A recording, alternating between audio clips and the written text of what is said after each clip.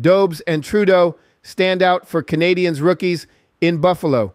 The Montreal Canadiens prospects kicked off the 2023 Prospects Challenge in Buffalo with a high octane clash on Friday night. Despite the Canadiens' efforts, the Sabres ultimately secured a 6 3 win, outshooting them 28 21 in the process. The game showcased Buffalo's rookies, who exhibited an array of skills, speed, and NHL readiness that highlighted their advanced development compared to their Canadiens' counterparts. The game raised questions about why the Canadiens traded their 31st and 37th picks in the 2023 draft for Alex Newhook. This match subtly demonstrated the need to bridge the gap in NHL ready impact prospects, especially when competing with teams like the Sabres and Ottawa Senators in the division. Performance highlights David Reinbacher. Reinbacher's debut may not have been flashy, but it was a solid start. While he occasionally seemed tentative and physically overmatched, he managed to play a steady game Reinbacher orchestrated several breakout plays leading to decent scoring chances and handled pressure from the Sabres forecheckers effectively. William Trudeau. Trudeau was appointed captain for the game, and he fulfilled the role admirably.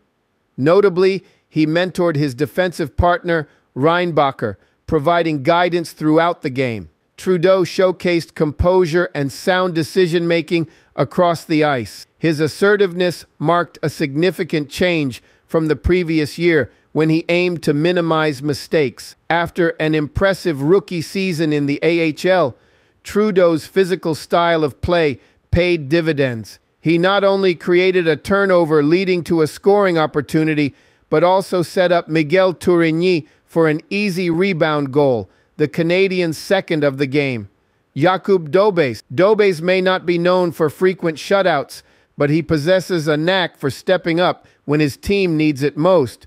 Through the first 40 minutes, he stood out as the Canadiens' top prospect, making crucial saves amid the team's struggles to contain Buffalo's forwards. Dobes, a tall and lanky goaltender with a 6.4 frame, often appears even taller on his saves. His performance included several impressive stops during odd man rushes, highlighting the defensive chemistry that requires further development, especially as the team faces real opponents for the first time. While the Sabres managed to score six goals, Dobes prevented the situation from worsening. Logan Mailloux. Mailloux' performance left room for improvement.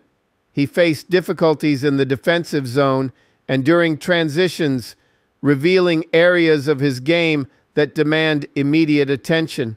While Mailloux may not take pride in this initial game, his ability to regroup mentally and make key plays following a challenging performance showcases the resilience essential for success in the NHL.